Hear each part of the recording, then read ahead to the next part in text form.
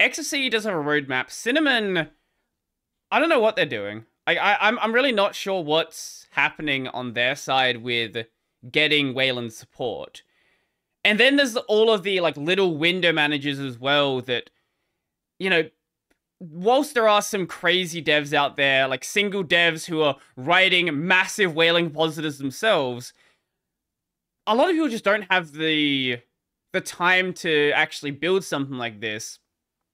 So this idea of, you know, whilst having the window manager and compositor being the same thing is is good for these big projects, and it makes it very easy to adapt things that just couldn't have been done on Xorg where everyone's using that same base. It also does have that drawback where it kind of does raise the barrier to entry for some of these these smaller projects.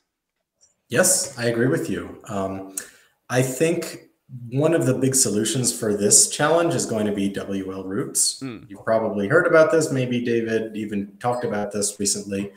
Um, I think you're absolutely right to articulate this challenge here because the small projects are going to need to do a lot of a lot more work than they're accustomed to doing.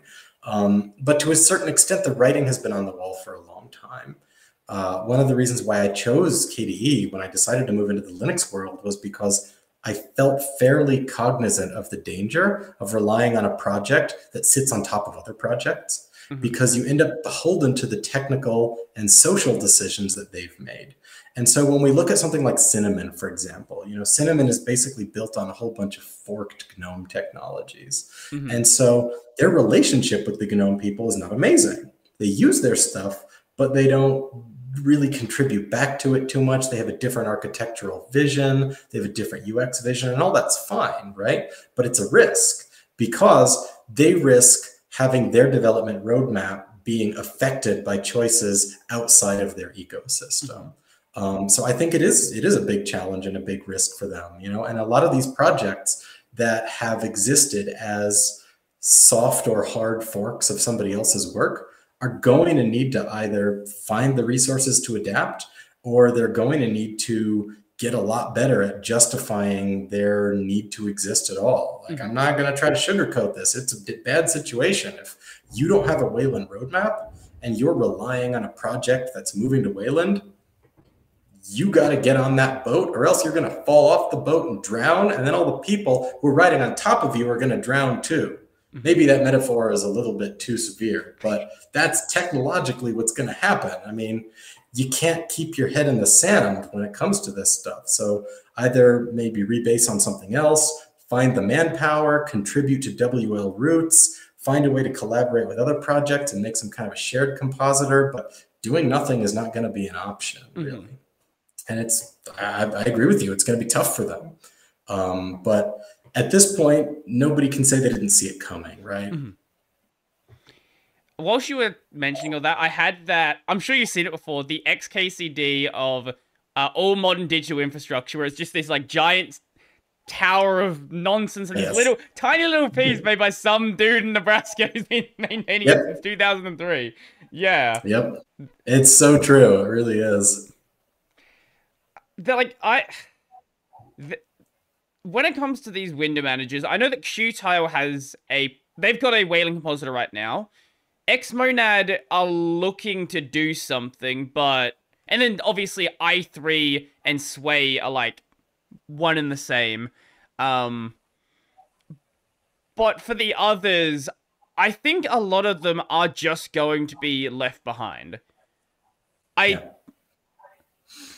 I don't know. Like I would it, it it's tough because I I like a lot of these projects, but like yeah. Yeah, your impression matches mine, you know, and I think this sort of gets back to what I said before that projects need to justify their existence. Mm-hmm. It's really easy to fork a project, make a couple changes, and say, boom, I have a new project, right? And then your project adapts and it grows and it moves in a different direction. But ultimately, we we live in a very small corner of the world here. You and I are talking when we've got our social groups and we've got our friends, but then when we go out to our non-tech friends, nobody knows what the heck we do, right? So when you're talking about like tiling window managers, you're looking at a fraction of a fraction of a fraction of a fraction of computer users. Mm-hmm.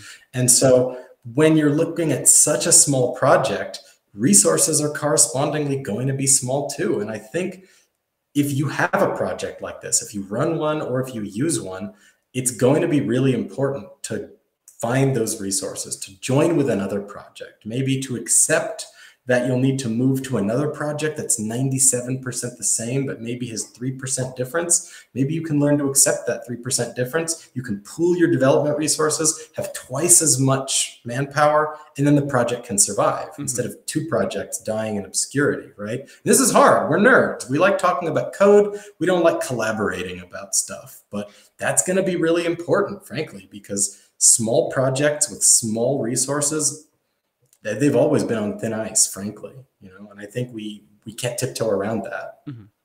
I think a lot of developers understand this and they're wary about it. But I think when it comes to the users, there are there are a lot of users. I don't know what the best term for it would be. Entitled? Yeah, we'll go with that one. There is a lot of users out there who feel like they are sort of entitled to something working. Like, this is what I've always been using. You know, you've probably seen this in bug trackers for KDE, where people oh, yes. feel like, you know, why is this not working? This should be working. And it's just like, that's great, but like, most of the people, like, you've got a job doing stuff, like, involved in KDE, but I'm sure most of the people on the project are not employed by anyone, right. you know, to do KDE work. Like they are just doing mm-hmm. this as volunteer work. They are improving things because they are using the project themselves and they want it to improve.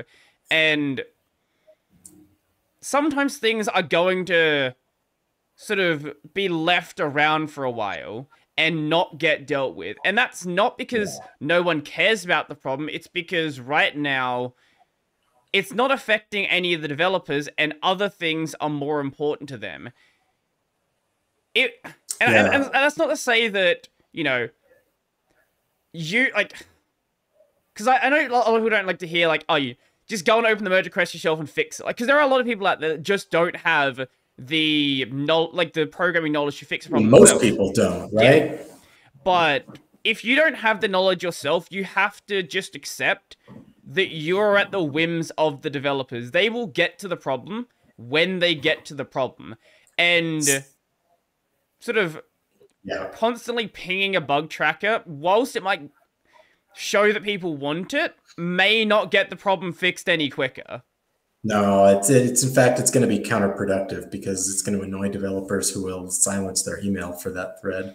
You know, what you're talking about is totally a, a real issue, and it's always very tempting when you see one of those to fire off a snarky reply that says, you know, well, feel free to apply for a, a, refund for all the money you paid for the software, right? Mm-hmm. Something mm-hmm. like that. Um, but that doesn't help. Um, I think part of the problem here is that we often do a very bad job of communicating just how resource strapped these projects are.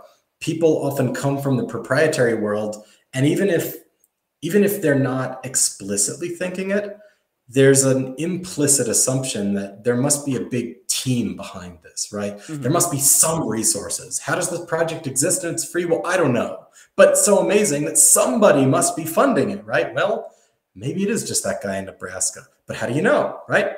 When you go to your package manager and you download a package, and maybe you're in even amazing and you read the description of the package before you download it. You're already in the 1% if you do that, right? But the description, no, I read every single line of code. tell you like the warranty? No. Does the description tell you how many users this project has? No. Does the description tell you how many developers it has? No. Does it tell you where the funding sources are? No. Does it tell you what level of support resources exist? Like you can forgive people for not knowing this stuff, right? It's, we don't make it very obvious. Um, and so I think improving that communication is really a very important part of telling this story, helping people to understand just how amazing it is that all this software is free.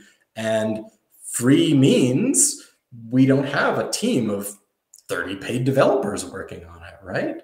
Um, just a, a couple weeks ago, I got somebody on my, my blog who left a comment. He said, you know, I was talking about finances um, in KDE e.V., the foundation behind KDE, because I'm, a, a, member of the board of, of this foundation, and somebody said, Something suspicious is going on. I'm not surprised that you got in trouble with the German tax authorities because it looks like you're embezzling funds. And, you know, I talked with him a little bit and I said, Well, why do you think that? Right. And he said, Well, I looked up your financial information and it looks like you're reporting that KDE's revenue was only 284,000 euros a year. That's so low. That's only enough for like two full time developers. How could that possibly be KDE? This must be a fake number, and you're just concealing the real number, and it's all a big money laundering operation. Like this person could not conceive of the notion that the nonprofit foundation behind KDE only takes in 284,000 euros a year. Mm-hmm. Like,